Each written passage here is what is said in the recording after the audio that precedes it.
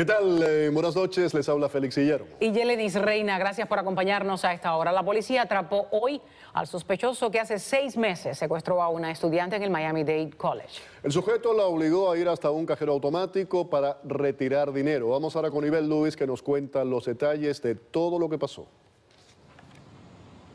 Hola, ¿qué tal? Pues efectivamente el sujeto está tras las rejas y enfrenta múltiples cargos, entre ellos por robo a mano armada y secuestro. Según las autoridades, hace seis meses el acusado encontró a su víctima aquí en este estacionamiento del Miami-Dade College de Kendall.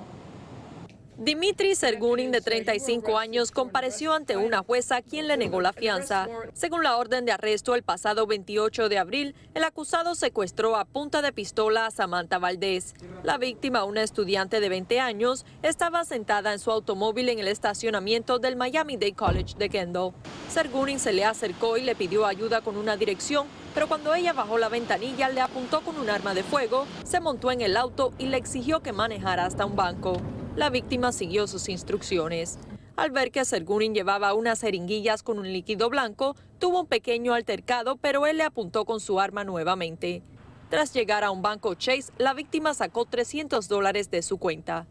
El sujeto le robó el dinero que sacó del banco y la dirigió para atrás, para el lugar donde él se montó en el vehículo con ella en el garaje.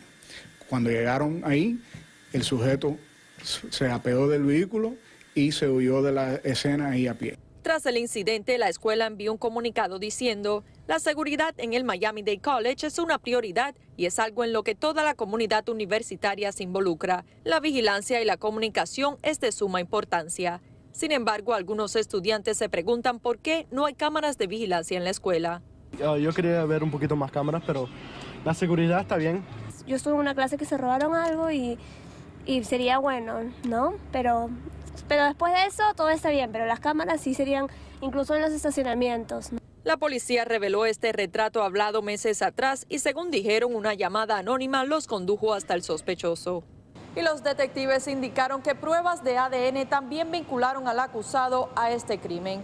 Para América Noticias les informó Yvette Lewis.